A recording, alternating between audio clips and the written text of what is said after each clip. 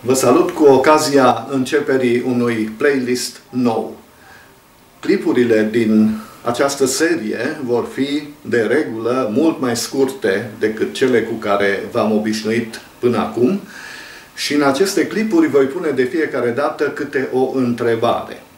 Asta nu înseamnă că nu voi continua seriile începute, de pildă în câteva zile veți putea să găsiți un nou curs de mecanică, Uh, săptămâna viitoare veți putea să aflați încă ceva din lumea nu este cum crezi și de asemenea va apărea și un nou clip din seria celor mai frumoase probleme de fizică. Dar întrebările din acest playlist se vor adresa de obicei mai mult logicii gândirii decât cunoștințelor pe care le aveți într-un domeniu sau altul cu alte cuvinte, vor fi mai asemănătoare cu întrebările care se pun în testele de inteligență și mai puțin asemănătoare cu cele care verifică cunoștințe. Și tocmai de aceea am numit acest playlist să ne gândim. Intenția mea este ca frecvența de apariție a clipurilor în această serie să fie săptămânală, Sper că le veți găsi interesante și mai sper că interesul vostru se va manifesta în răspunsuri și în comentarii, din care vom putea învăța toți câte ceva. În fiecare săptămână voi da răspunsul la întrebarea din săptămâna anterioară.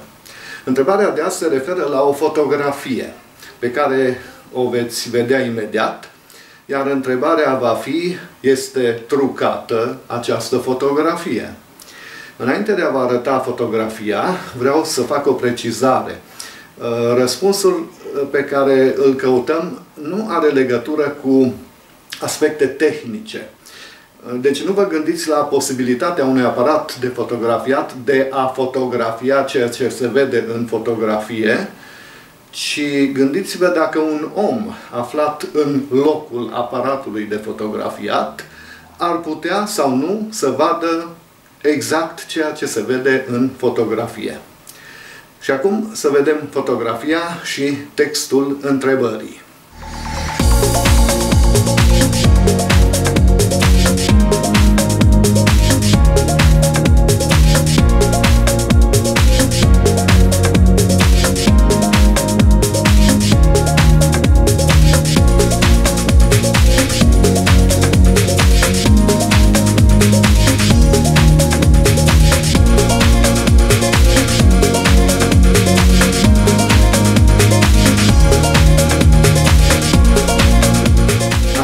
Cu nerăbdare răspunsurile voastre, comentariile voastre și, de ce nu, întrebările voastre legate de ceea ce ați văzut azi. La revedere!